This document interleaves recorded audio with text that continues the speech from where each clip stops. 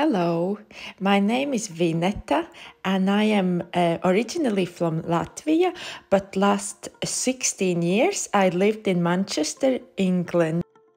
I really wanted to stay with Andris and Deborah at Obelisk Farm for two reasons. Firstly, I wanted to experience living in Latvian countryside and understand if I would like to move back to Latvia.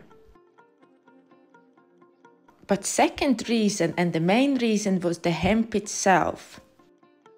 I think this plant is amazing because it can be used in so many ways.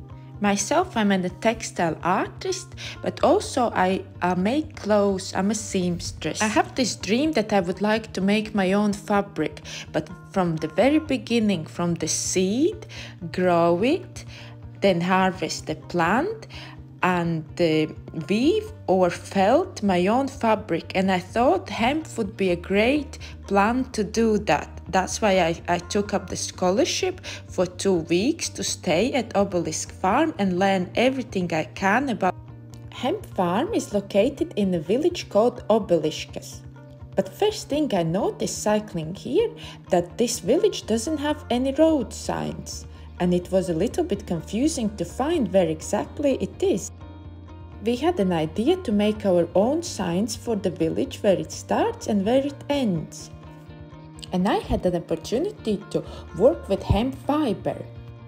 We used raw unprocessed hemp fiber to wrap around wooden letters to create a sign. We covered hemp fiber letters with PVA glue to protect it from the weather. PVA letters had to dry in the sun for a couple days. Meanwhile, I had the chance to participate in different projects at Obelisk Farm. When hemp fiber is taken off the stem, there is core left and this core can be chipped and used in building work. I really wanted to learn in practice how it is to insulate a building with using hemp and I had this chance helping Andris to plaster over the hempcrete insulation.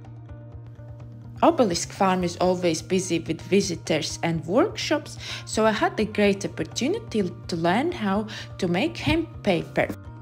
This is another way how to use hemp fiber and for me this is interesting because it's another step further to learn how to create my own fabric. I've never had made paper before but this type of technique reminded me of textile making called felting. Before taking Obelisk sign onto the road, we had to do last few touches. We needed to ask local residents who lived in Obeliskas for generations to establish borders where Obelisk village starts and where it ends. We placed first of the two road signs near the road which is heading out to town called Varakļāni and second sign we placed near the road which is heading to town called Viļāni. This is the way I came to Obeliski farm. Now obelisks are on the map for everyone to know where it is.